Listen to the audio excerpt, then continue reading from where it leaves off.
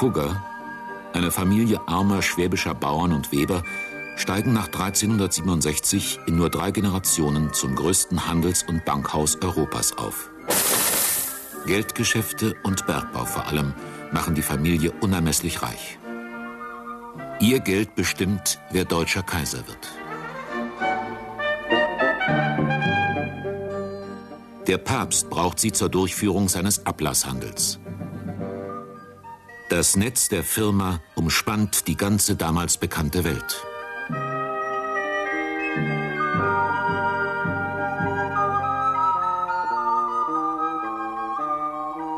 Jakob Fugger, genial und skrupellos, ist der reichste Mann seiner Zeit und einer der mächtigsten.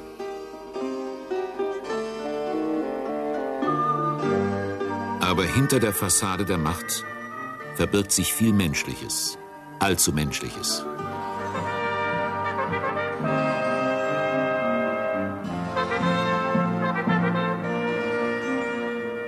Und trotz sozialer Stiftungen schlägt dem Monopolisten erbitterter Hass entgegen. Die Glanzzeit ist kurz. Schon im 16. Jahrhundert unter Antoni Fugger, dem zweiten großen Regierer, beginnt der Abstieg in die Bedeutungslosigkeit. Allmählich, aber unaufhaltsam.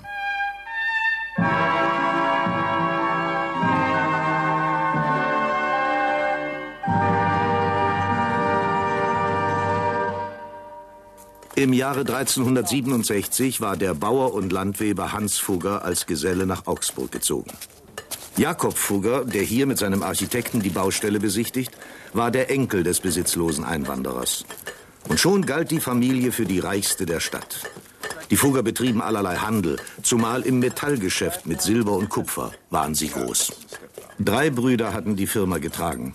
Georg starb und so war neben Jakob nur noch Ulrich da. Die Konkurrenz hatte versucht, einen tödlichen Streich gegen die Brüder zu führen, sogar unter Teilnahme des Kaisers Maximilian höchst selbst.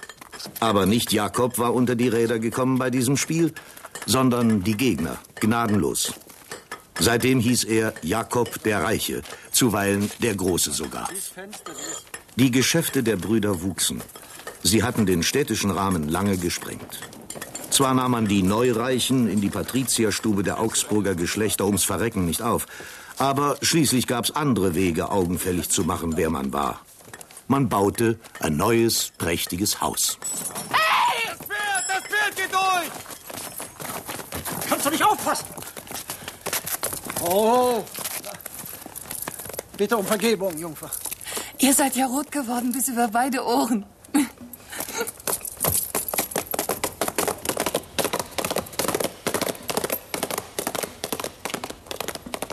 So, du hast ihm gefallen, dem Jakob Fugger. Gefallen?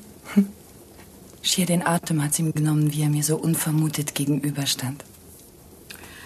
Es gibt kaum eine glänzendere Partie in der Stadt. Hast du ihn angenehm empfunden? Angenehm?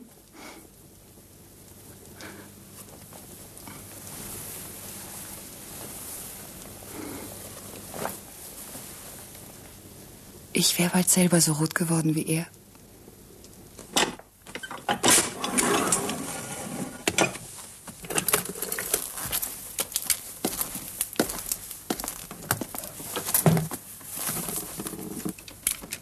Du träumst viel in letzter Zeit.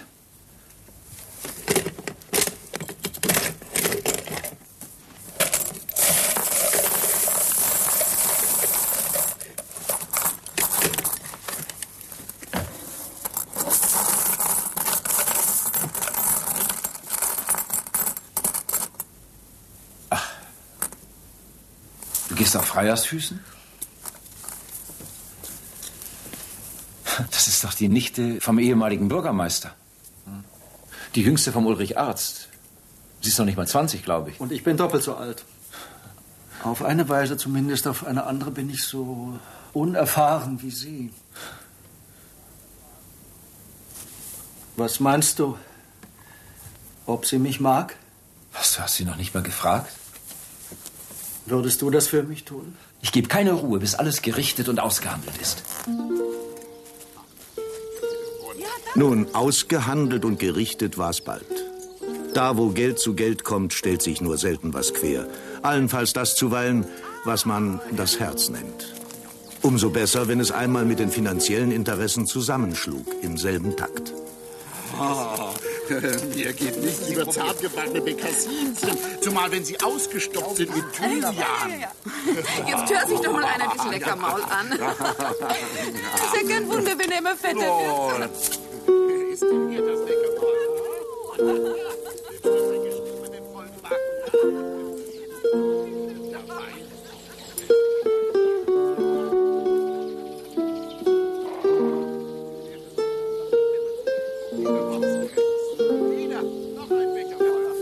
Wäre der Herr Fugger wohl so galant, mich ein wenig am Lech spazieren zu führen?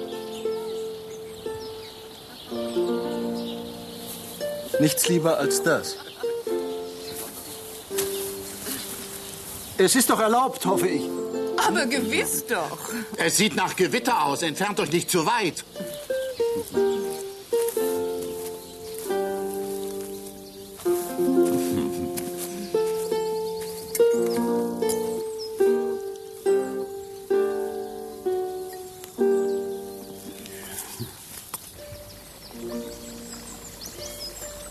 Seid ihr immer so schweigsam? Zumeist. Heiliger Jesus. Da stehen mir aber karmelitische Jahre ins Haus.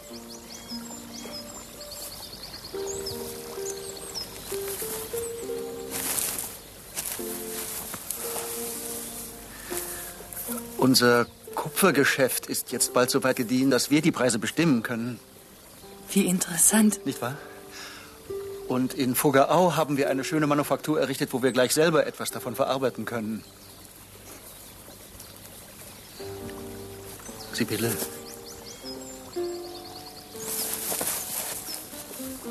Ich bete euch an. Ja? Und was bitteschön soll mich das Glauben machen? Dass ich es sage. Worte sind eine trockene Ware, Herr Bräutigam.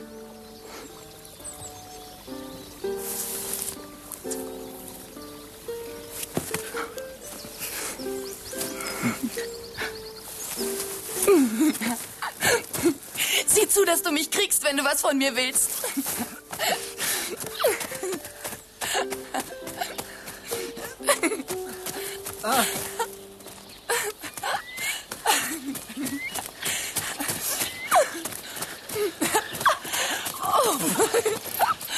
Gott zum Gruß.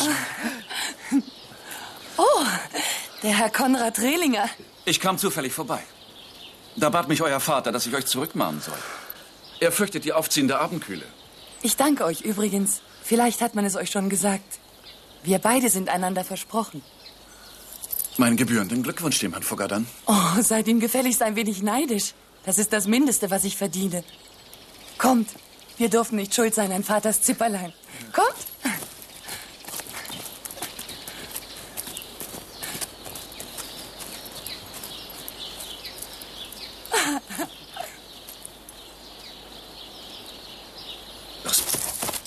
Schade, dass das Haus bis zur Hochzeit nicht mehr fertig wird. Auf die neue Schreibstube freue ich mich mehr als auf alles andere. Ahorn getäfelt. Und vor dem dunklen Schnitzwerk hebt sich das matte Gold sehr wirkungsvoll ab. Du solltest dich lieber mehr ums Schlafzimmer kümmern. Das wird eine Hochzeit, von der die Leute noch lange reden werden.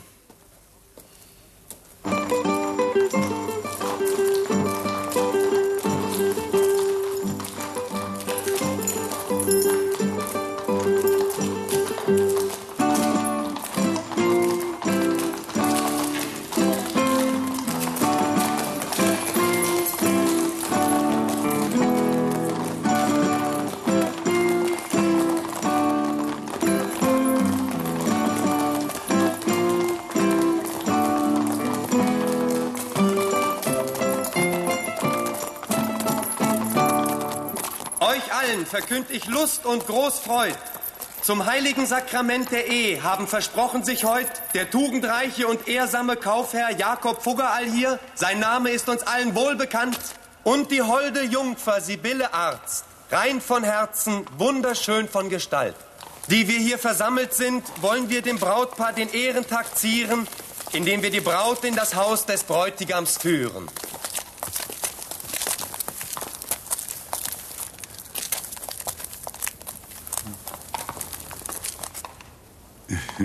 ja.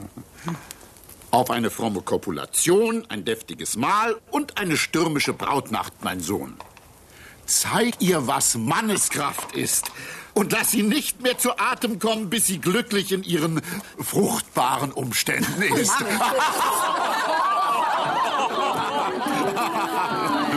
bist schon einer. Na, was für einer bin ich denn?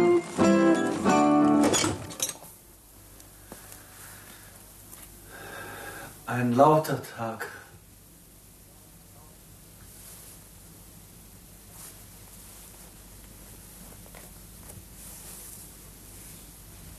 Soll ich die Zofe rufen?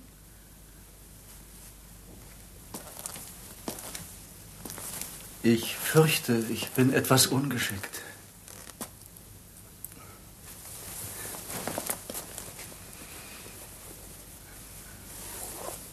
Hast du oft davon geträumt?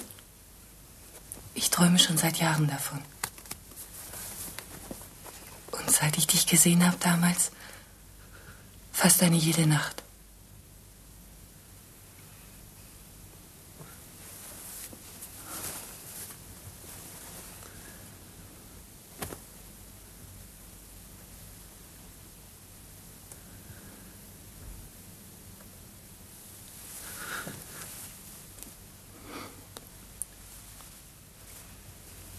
Es macht mir nichts aus, Jakob.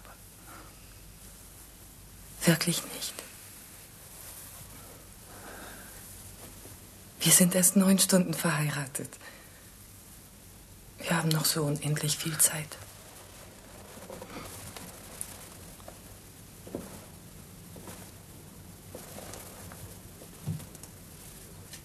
Er fühlte sich elend.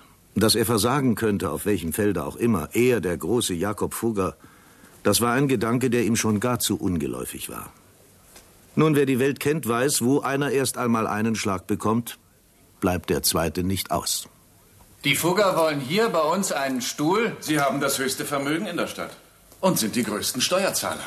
Was kümmert das uns? Wir machen doch hier keine Geschäfte.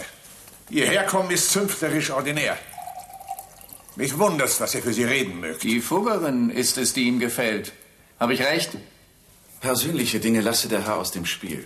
Aber das weiß doch ganz Augsburg. Jedenfalls setzt mir kein Hochgekommener gerne groß seinen ordinären Hintern auf einen Geschlechterstuhl. Abgelehnt. Hier. Sie haben uns abgelehnt. Dummheit und Stolz. In Ihrer Stube, während Sie saufen, machen Sie die Politik der Stadt. Wir machen sie im Reich. Ein wenig jedenfalls. Aber ich habe andere Sorgen. Sorgen? Wegen dem Karpatenkupfer. Wieso? Das fängt doch an, sich zu rentieren. Gut zu rentieren sogar. Der Turso frisst den halben Gewinn. Er war uns einmal sehr nützlich. Wahr. Zwei Hähne auf einem Mist, das hat noch nie getaugt. Auch wir sind zwei.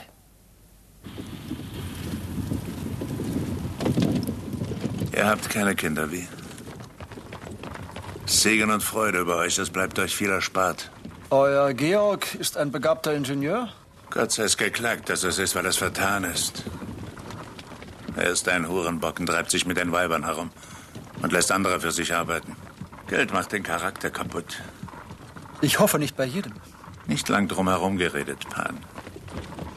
Ihr seid aber eingereist, um mir meine Kompetenzen zu beschneiden. Ich würde es so nicht nennen. Ich nenn's so. Und mehr als genug davon habt ihr mir ohne die schon beschnitten. Aber ich habe geschriebene Privilegien am ungarischen Hof, mit denen ich euch das Leben sauer machen könnte.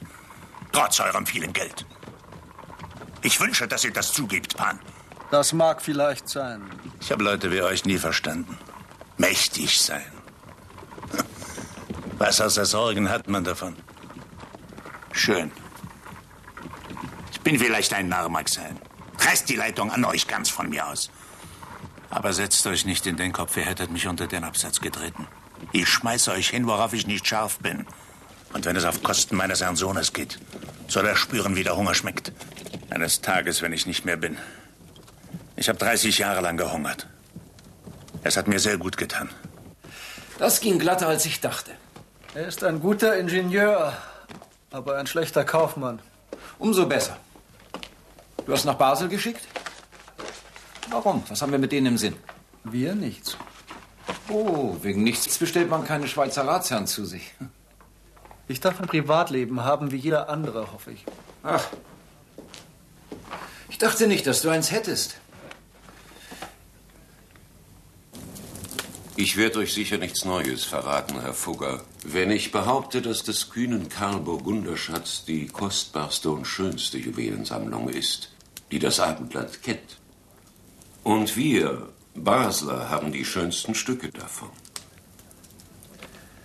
Dies alles ist ganz und gar unverkaufbar und also eine wenig lukrative Geldanlage. Es ist eine reguläre Schweizer Kriegsbeute, Herr Fugger. Warum habt ihr sie dann 26 Jahre lang versteckt gehalten? Und bietet sie auch heute noch heimlich an? Es gibt legitime Ansprüche der Erben und jedes Reichsgericht würde das konfiszieren, wenn es einer habhaft würde. Wenn ihr nicht kaufen wollt, sagt's gerade heraus. Wir können noch weitere 26 Jahre warten. Sowas gewinnt nur mit der Zeit. Es gibt Stücke darunter, die sind so himmlisch schön, dass man sie wirklich kaum beschreiben kann. 40.000 rheinische Gulden sind auch himmlisch viel Geld. Mein Interesse gilt vor allem dem und äh, dem. Ja, und dem Perlenschmuck hier. Herr Fugger hat wirklich die besten Stücke herausgefunden, so als ob er selbst ein Goldschmied wäre. Mein Vater ist einer gewesen. Es verzaubert einen, weiß Gott, als blicke man in den offenen Himmel hinein. Man ist wie geblendet davon. Königinnen haben das vor dir getragen. Und es soll wirklich mein sein? Einzig unser, Sibylle. Denn du darfst es nicht tragen. Nicht vor den Menschen tragen, aus vielerlei Gründen nicht. Nur wenn wir allein sind. Nur zwischen dir und mir soll diese unsagbare Wollust des Schönen sein. Du bist eine Göttin.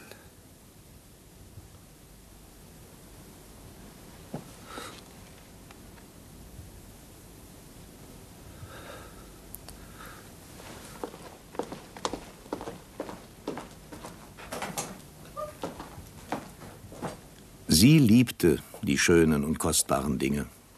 Sie war eine Frau. Aber eben weil sie es war, dies hier trotz allem Glanz machte nicht satt. Heißblütig war sie, war es immer gewesen. Jetzt war sie schon beinahe ein Jahr lang Jakobs Frau und immer noch unberührt. Der eiserne Wille, der ihn emporgebracht hatte, hier war er machtlos. Hätte er es vorausgeahnt, wie hartnäckig die Natur sich ihm verweigerte, er wäre geblieben, was er tatsächlich ohnehin bleiben musste, ein Hagestolz. Wer mag die Verbitterung ermessen, die Versteinerung, die durch all dies über ihn kam? Und über sie auf eine andere Weise. Wenn sie ausritt, und sie ritt beinahe tagelang in den Auen des Lechs und der Wertach umher, trieb sie Wut und Verzweiflung.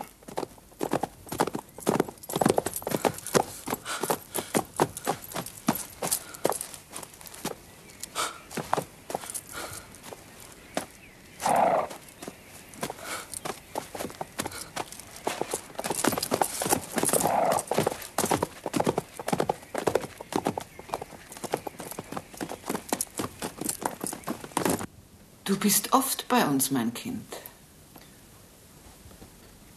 Es ist mein Elternhaus schließlich.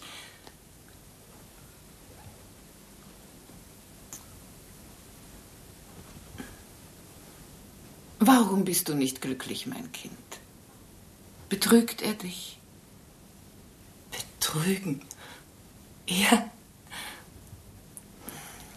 Sibylle, du kannst ganz offen mit mir reden. Du bist doch nicht zimperlich. Wie oft hat er sich zu dir gelegt? In eurer ersten Zeit. Mein Herr Vater. Aber Kind. Oft. Wie oft?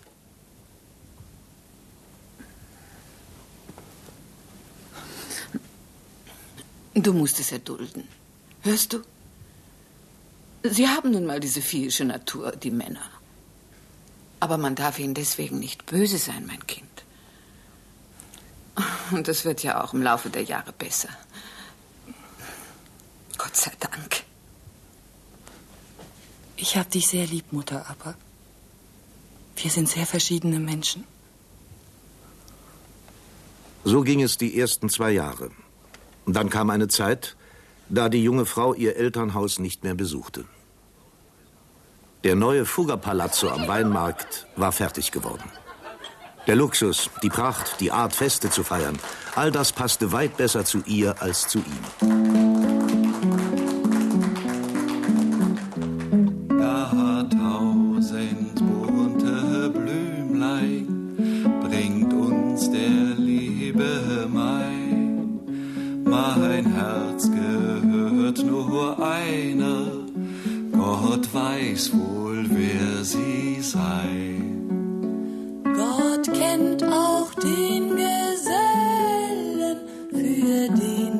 mein Herz schlägt. Ich seh's ihm an den Augen, was sich in seinem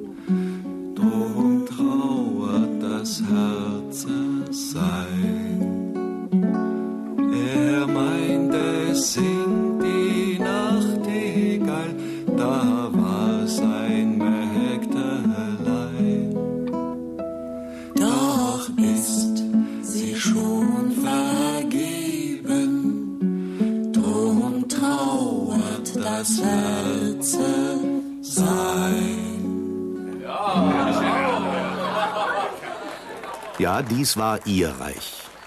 Kapriziös und gescheit hielt sie Hof hier. Und Jakob Fugger war Gast bei sich selber, war es ungern und auch ungern gesehen. Oh, ihr wollt uns doch noch nicht verlassen, Herr Jakob, wie? Man möge mir verzeihen, es war ein langer Tag.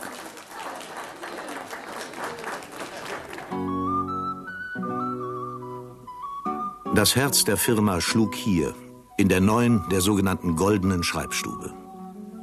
Da saß er 16 Stunden am Tag im mönchestillen Garten seiner Bilanzen und sehr viel lieber als dort, wo lautes Leben herrschte.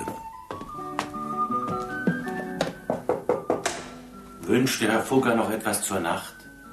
Wie spät ist es? Nach elf. Ich gehe zu Bett. Den Sekretarius morgen früh eine halbe Stunde vor sechs. Pünktlich.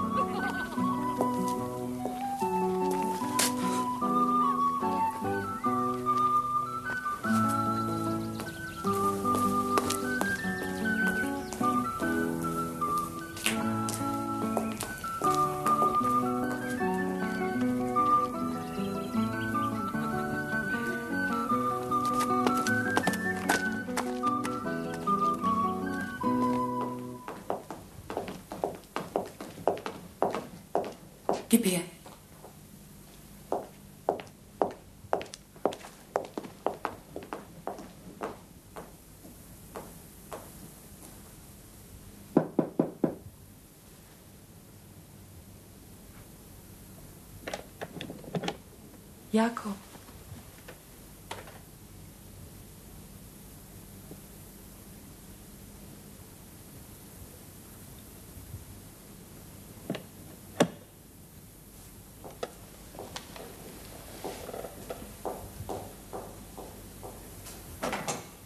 Er vertiefte sich in seinen Gott in dieser Zeit, um das Dunkle, das in ihm war, aufzuhellen.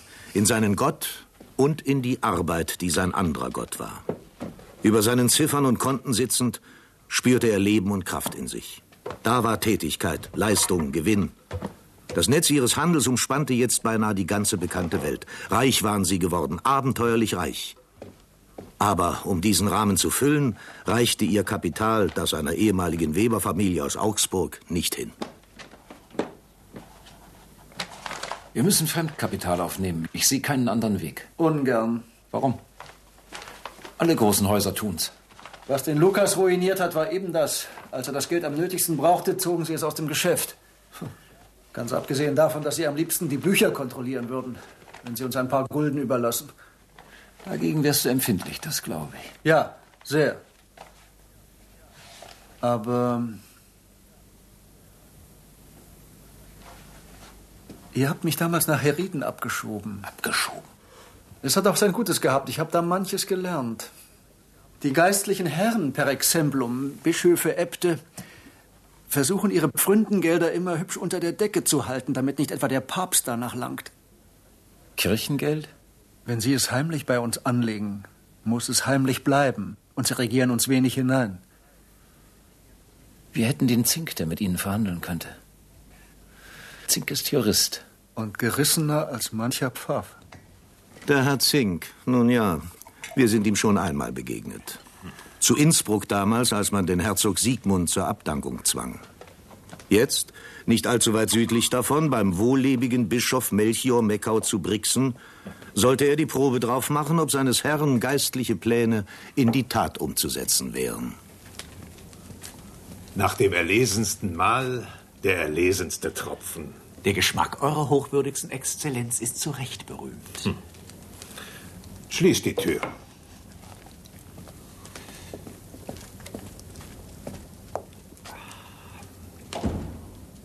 Nun also, ich hätte tatsächlich ein wenig Geld, gerade ebenso viel. Eine kleine Anleihe, die ich an den Kaiser gab, kam mir neulich zurück. Hm, nicht gar so klein. 20.000. Unser eins weiß manches, Exzellenz. Auch, dass ihr Grund zur Eile habt. Eile? Ich? Wieso? Man schickt euch wen übers Haupt. Von Rom aus. Ich sag's im Vertrauen. Der Kardinal Casuccio ist unterwegs. Hm, eine Revision. Man hat Wind bekommen von eurem Reichtum und hätt ihn gern.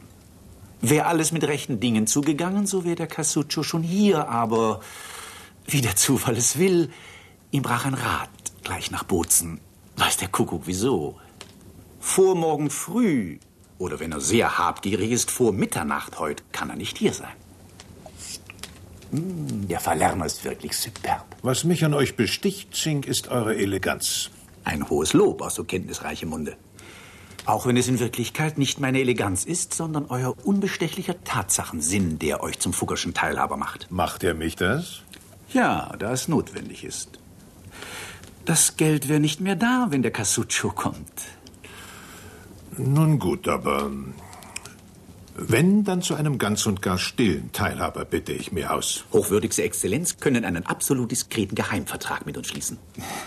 Aber um das lobende Wort von vorhin nicht ganz verhallen zu lassen, ich habe auf eine Provision gehofft. Wie viel? Bescheiden. Ein Prozent. Das wären 200. Ich habe einigen Einfluss und könnte gut dafür sorgen, dass die Gelder Eurer Exzellenz dort zum Zuge kommen, wo es am gewinnträchtigsten hergeht. Ohne dies steht ja zu hoffen, dass diese 20.000 nur ein erster Anfang sind, denn eure Brixener Pfründe ist einer der vollsaftigsten im Reich.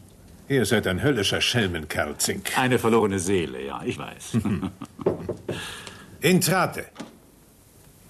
Ich bitte um Vergebung, aber ein allerhöchster, ganz unerwarteter Gast. Kardinal Casuccio.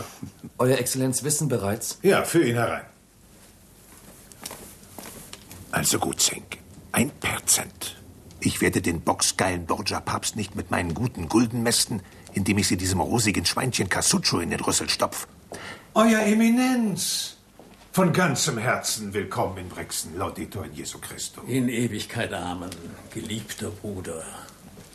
Unsere Reise war beschwerlich. Herr Wir bedürfen der vom Erfrischung. Alles lief bestens. Und geistliche Herren wie den Bischof Melchior Meckau zu Brixen gab's überall. Er freilich erwies sich im Netz der Augsburger Bilanzen als der fetteste Fisch.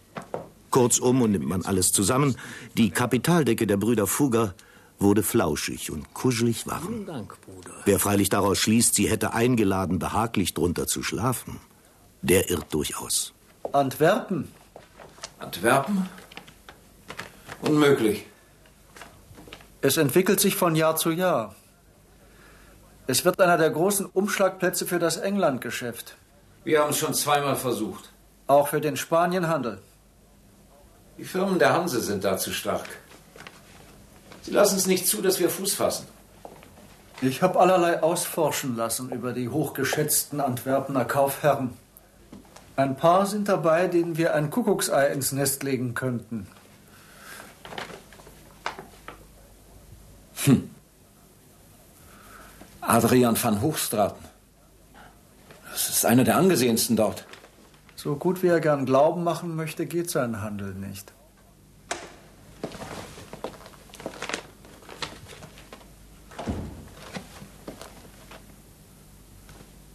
Mine Hochstraten.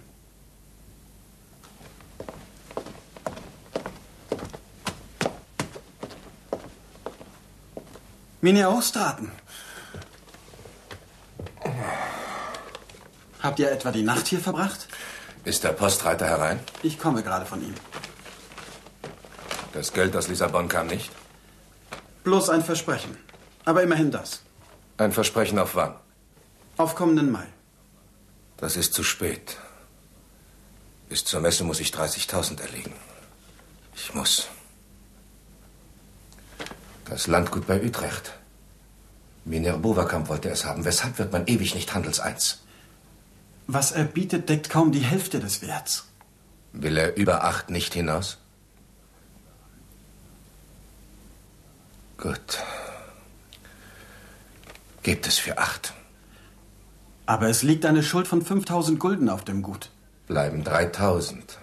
Die immerhin zahlt er bar. Steht zu hoffen. Nur zwei Drittel. Das reicht nicht.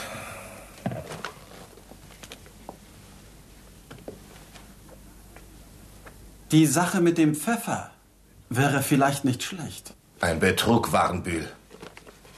Wisst ihr, was drauf steht? Wenn man geschickt ist und nicht ertappt wird? Diesem Gewürzschmecker. Meint ihr, ihm ist wirklich zu trauen? Wenn man ihm seinen Anteil pünktlich zahlt? Oh Mann, in letzter Zeit blickst du immer so düster. Es will nichts bedeuten, Frau. Wirklich nicht. Warum darf ich nicht teilnehmen an deinen Sorgen? Du siehst Gespenster.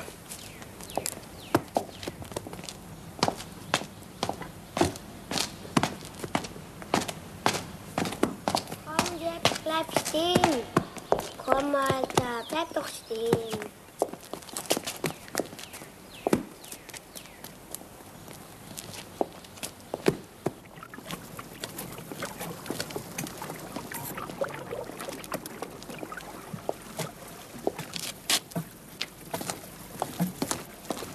Also, nun. Wenn was rauskommt, wird man euch einsperren. Doch der, dem's ans Leben geht, das bin ich. Allein wenn von diesem Gespräch dem Magistrat jemand was flüstern würde. Ich nehm's auf meinen Eid, dass wir nicht miteinander gesprochen haben. Wem wird man mehr glauben, mir oder euch? Ich weiß nicht so recht. Immerhin bin ich ein eidlich bestrahlter Gewürzschmecker der Stadt. Also fast ein Beamter. Gut, also definitiv wie viel? 300 Gulden. Im Voraus. Wie ausgemacht. Euer Gewinn bei zwei Ladungen gestreckten Pfeffers macht fast das 15-fache aus.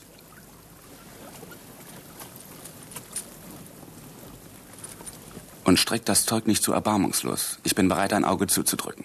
Aber nicht zwei.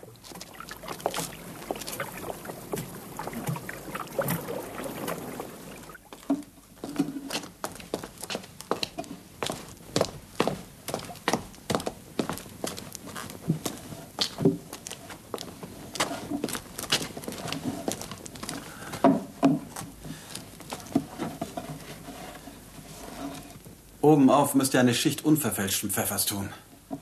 Falls ein Unberufener seinen Blick darauf wirft. dieser verdammte Pfeffer beizt.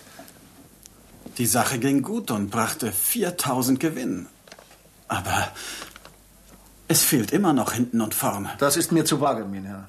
Für den Preis, den ich euch bezahle, will ich Hochstratens Bilanzen sehen. Das wird nicht einfach sein. Ihr kennt den Matthias Frisch? Matthias Frisch? Augsburger. Spezereihändler in Antwerpen seit bald zehn Jahren. Oh ja, den kenne ich. Empfiehlt ihn eurem Herrn. Als was? Als Gläubiger. Einer, der Geld für ihn übrig hat. Es wird nicht nötig sein, Mina Hochstraten lang zu bitten. Er wird auf jeden Fall zugreifen. Das Wasser steht ihm bis zum Hals. Ach ja?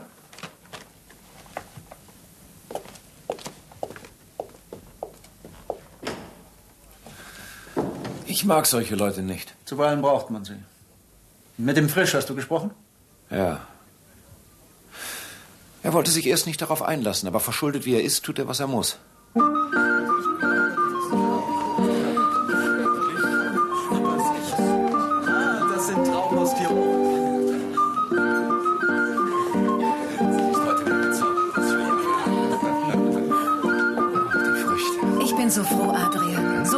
Warst du schon lange nicht mehr.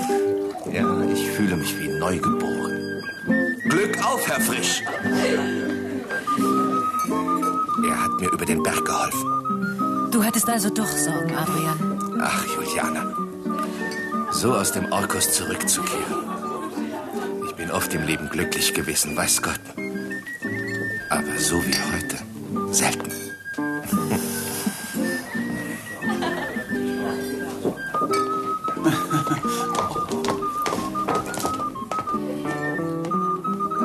Der Hochstraten. Ja, Seid willkommen im Hause Hochstraten, Herr Fugger.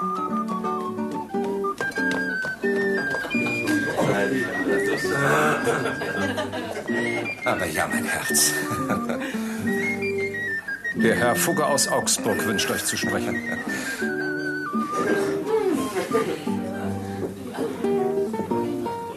Fugger aus Augsburg. Was mag der von dir wollen?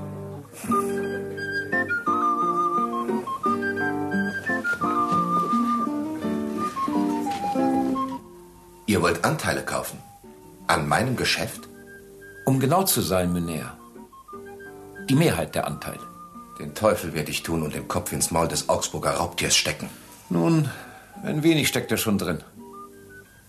Wieso? Wen habt ihr vorgeschickt? Den alten Herrn Frisch. Die 25.000, die er einbrachte, waren von uns. Ah. Von euch?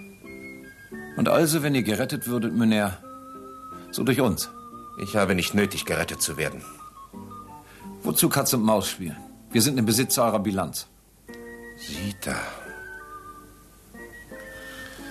Es wird mir schwerfallen, den Anteil dieses Herrn Frisch herauszuzahlen. Sehr schwer sogar.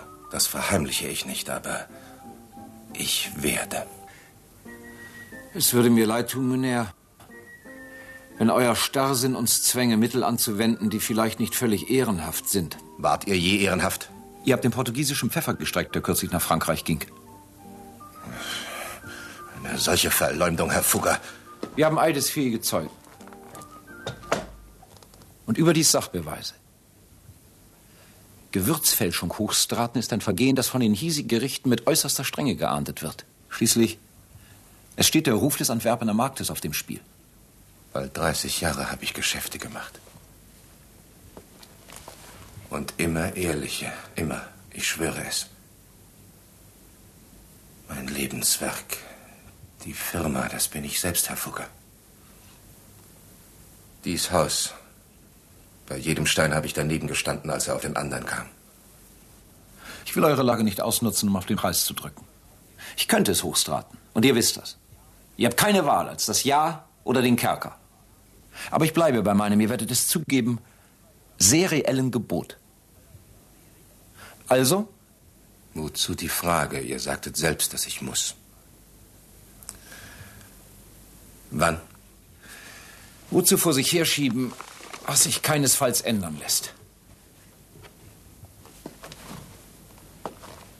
Gut. Wenn es euch so sehr eilt.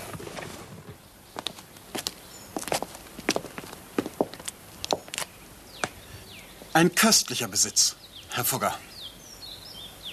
Wie weit bist du dem Magazin? Sie grenzen gleich dort an. Sehr schön. Ihr habt eure Sache gut gemacht, Warnbühl. Wer einem Fugger dient, tut es nicht umsonst. Ihr werdet hier einziehen und das Kontor als unser Antwerpener Faktor leiten. Ich werde was draus machen, Herr Fugger. Das verspreche ich euch. Und hier lagern die venezianischen Tuche. Mein Gott.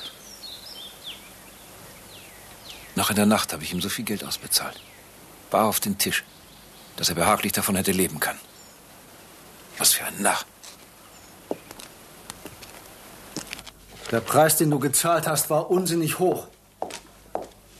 Noch immer weit unter Wert. Aber weit über das Nötige hinaus. Verzeih, Prinzipal unserer Sozietät bin ich. Gelegentlich mache ich davon Gebrauch, wenn es gefällig Ja. ist. Nun, Herr van Hochstraten war ja auch sehr zufrieden, wie man hört. Wenigstens die Witwe und die Kinder sind auf diese Weise versorgt. Ich habe selber Kinder. Vielleicht wäre es gut für dich auch endlich welche zu haben. Fugger gibt's mehr als genug. Er hatte begonnen, sich abzupanzern. Und er empfand es als Auszeichnung der Natur, dass sie ihn anders veranlagt hatte als die anderen. Da gab es welche, die hatten weit weniger Beschwerden mit ihrem Fleisch. Ich werde meine Exerzitien halten jetzt. Also setz dich her da und gib acht, dass mich niemand stört. Aber wenn es nun was Wichtiges ist. Es gibt nichts Wichtigeres, als wenn eins auf seine Seligkeit schaut. Melchior von Meckau, vormals Bischof von Brixen, jetzt Kardinal in Rom. Gott und ein Schmiergeld von 15.000 Gulden hatten ihm sein hohes Amt beschert. Und es war keine verschwendete Gabe. Er erfreute sich ihrer nach seinen rüstigen Kräften und genoss es, den neidischen Blicken seiner heimischen Prälaten entronnen zu sein. Anlässlich seiner häufigen, pflichtgemäßen und hochwichtigen Aufenthalte in der ewigen Stadt räkelte er sich behaglich, während der Zins seines heimlichen Kapitals in gesegneter Fruchtbarkeit wuchs. Ohne Arbeit, ohne Plage, allein durch die Gnade Gottes und freilich auch durch das Geschick der Fuggerschen Handelskunst. Bibelfest war er, wie es sich gehört. Er lebte nach des Predigers Salomo-Wort, in Freuden esse dein Brot, deinen Wein trinke mit Wonnen und Gebrauch deines Lebens, solang der Herr es dir gibt.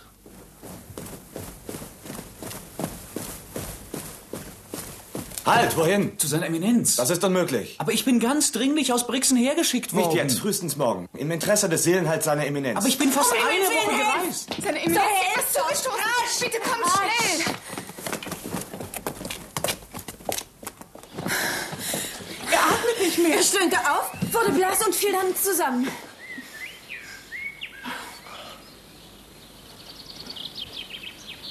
Seine Eminenz lebt nicht mehr.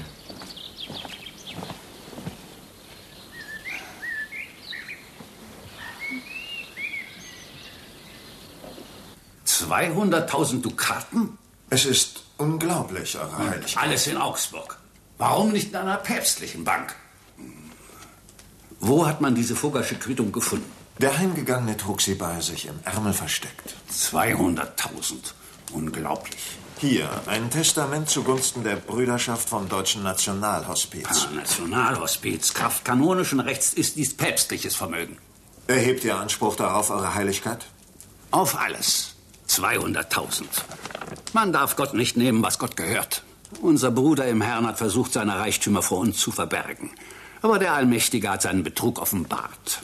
Mit diesem Vermögen kann ich den verdammten Venezianern den halben Kirchenstaat wieder entreißen, dass jener Borgia, Gott strafe seine unzüchtige Seele, verschleudert hat.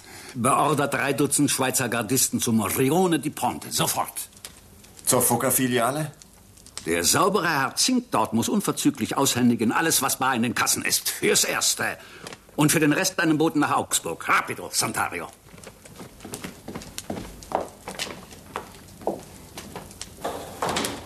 Seine Heiligkeit ist ein streitbarer Mann. Was hast du? Wieder Schmerzen? Ach, das geht vorbei. Schlimmer als alle Schmerzen ist, dass ich nicht weiß, was tun. Zeit gewinnen. Anderes kann uns jetzt nicht retten als Zeit gewinnen. Seine Heiligkeit hat uns das römische Konto schon kräftig genug ausgeräumt. Das ist zu verkraften. Wenn man bedenkt, dass wir ihm auch noch die Schweizer Garde bezahlt haben, mit der er unsere Bank überfiel. Wenn die Gläubiger Wind bekommen, stürzen sie sich auf unsere Kassen. Und es wird enden wie beim Lukas. Es darf nicht so enden.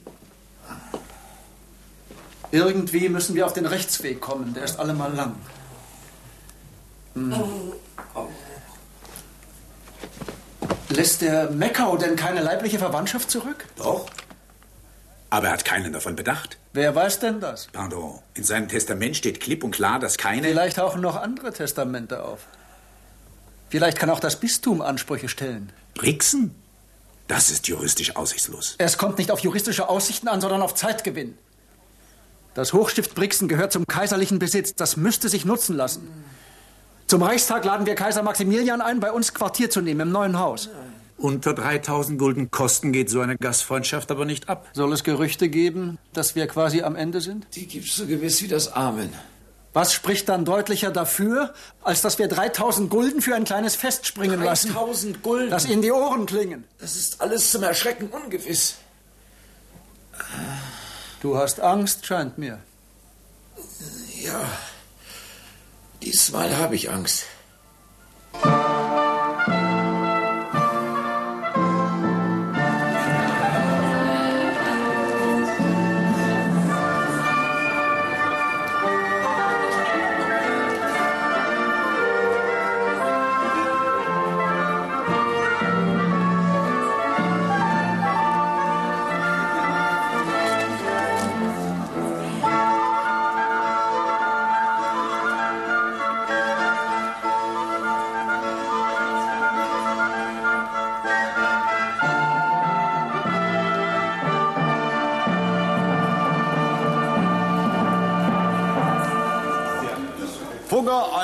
Tanzt wie eine Feder. Majestät sind zu gütig. Wahrheitsliebend, Fuggerin, wahrheitsliebend. Ich kann nicht umhin, euch zu beneiden, Fugger. Um eure Frau und dieses wunderschöne Haus. Es sieht manches glänzender aus, als es ist, Majestät. Ja, mir sind da Gerüchte zu Ohren Morgen, gekommen. Majestät. Diese Nacht soll es für Euer Majestät nur Schönes geben. Da wir den letzten Tanz gemeinsam beendeten, wollen wir diesen zusammen beginnen. Keine größere Ehre und Freude für mich, Majestät. Ist was mit meinem Bruder? Euer Bruder schläft. Er ist seit Mittag fast ohne Schmerz. Soeben ist der päpstliche Datar eingetroffen. Und er macht es sehr dringlich, Herr Fugger.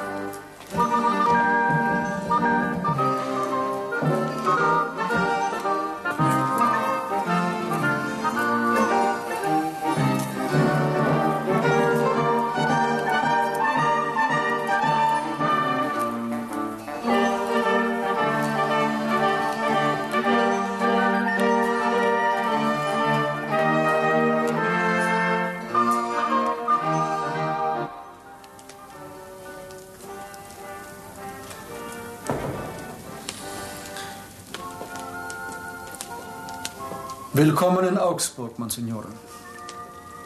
Danke. Dies hier ist meines Bruders Platz. Er ist krank, er lässt sich entschuldigen. Ich nehme an, es handelt sich um seine Eminenz, den Bischof Meckau von Brixen. Es tauchen unentwegt sich völlig widersprechende Testamente auf. Das hörte ich. Als ich abreiste, waren es fünf. So viel? Testamente des Kardinals, und wenn es zwei Dutzend werden, haben juristisch keine Gültigkeit. Das Vermögen fällt an die Kurie nach kanonischem Recht. Das ist eine Sache der Rechtsgelehrten. Ich verstehe davon nichts. Diese Testamente sind einwandfrei Fälschungen. Erwiesenermaßen. Da diese Dokumente so hervorragend gearbeitet sind. Sagt man in Rom was? Dass der Urheber ein übermächtiges Interesse und eine bemerkenswerte Börse haben muss. Ja? Ich warte. Worauf? Es liegt euch doch ein Name auf der Zunge. Bei mehreren Testamenten hängt viel vom Zeitpunkt der Niederschrift ab, nicht wahr? Die Gerichte werden das Gültige ermitteln. Die Gerichte. Ihr spekuliert falsch. Ich bin zum Zweck der sofortigen Eintreibung hier. Der Kaiser wird über den Kasus befinden und ich denke, wir beide werden uns seinem Urteil fügen. Wie ihr wollt. Da die Majestät ohne dies in der Stadt ist, werde ich mit ihr konferieren. Der Kaiser ist zu Gast in meinem Hause. Und wie man hören kann, fühlt er sich wohl.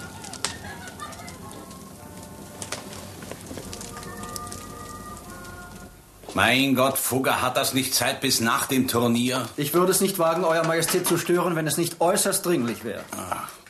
Es besteht ernstlich Gefahr, dass das Haus Fugger an dem päpstlichen Aderlass zugrunde geht. Und Euer Majestät würde da ein Geldquell auf immer versiegen. Und wie wäre das zu verhindern? Euer Majestät haben Erbansprüche. An den Kardinal Meckau, ich? Das Hochstift Brixen ist Euer Majestät reichsunmittelbares Beneficium. Daraus leiten sich Rechte ab. Es ist ein beträchtliches Vermögen, das da in Euer Majestät Taschen fließen würde, statt in die des Papstes. Was erwartet ihr von mir? Eine Unterschrift. Ich hoffe, und ein ehrenhaftes Dokument. Ich würde etwas anderes nicht wagen zu empfehlen, Majestät. Also gut, fertigt es aus. Und jetzt sekiert's mich nicht länger. Ihr habt noch nie ein Turnier gefochten. Man ist höllisch aufgeregt davor. Wie vor jeder schönen Kunst. Der Mohnsaft, Herr Fugger. Wozu? Er lindert die Schmerzen.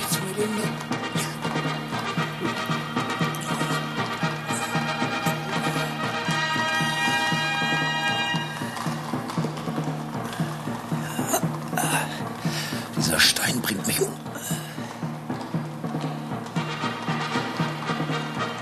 Die Majestäten und der Kurfürst von Sachsen sind unterwegs zum Turnier. Mach zu.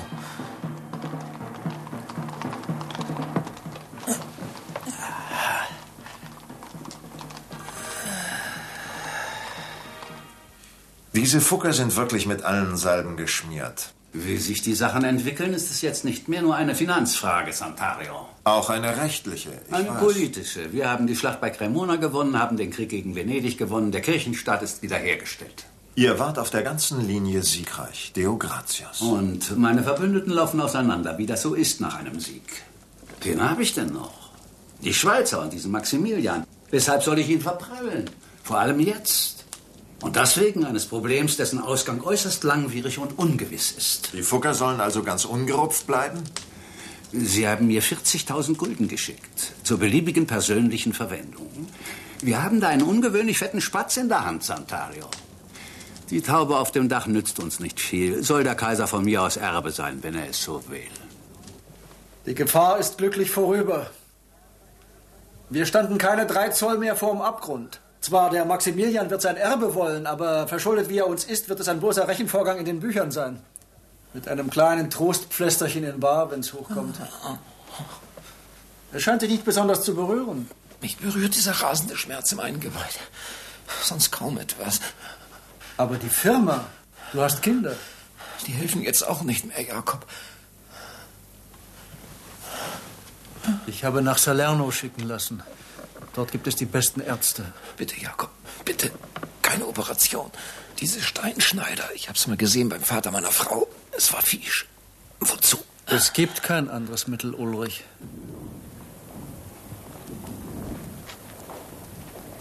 Die Messen hatten nichts vermocht. Und auch der Steinschneider aus Salerno hatte nichts vermocht. Es war Fisch gewesen. Der Kranke hatte es vorausgeahnt. Dieser schnelle, harte Stoß des Messers hinein ins zuckende Fleisch, den Damm zertrennend, die Harnblase schlitzend, Fisch, grausam und umsonst.